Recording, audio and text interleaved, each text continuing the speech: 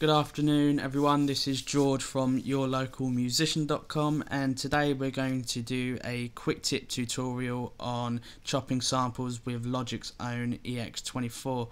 Now, when I say this is a quick tip tutorial, I literally mean this is super, super quick. It's a really fast and fun technique that you can use for, uh, for instance, chopping up uh, individual hits from drum loops, for instance. That's what we're going to be using it here for it's uh, really cool. So, for instance, if you've got a, a, a hip hop loop that you really, really want to steal some hits from, this I think really is the quickest and probably easiest way to do it. So, if we take a listen to this loop that I've got here, and then we'll get stuck into how we actually do it.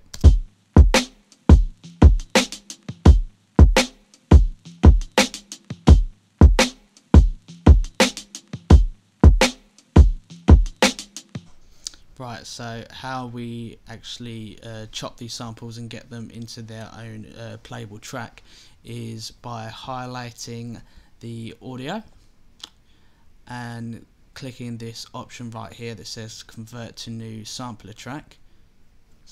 We've got this pop-up box here.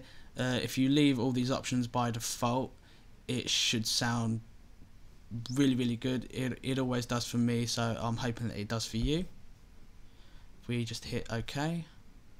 And as you can see here Logic has created a brand new uh, sampler track for me which is a, a, now a playable instrument. So if I go ahead and um, play my own beat.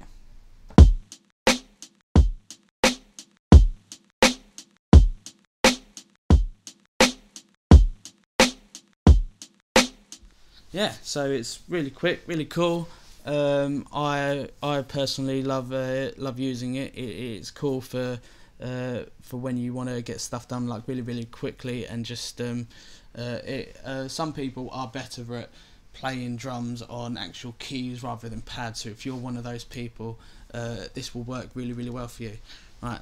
So thank you.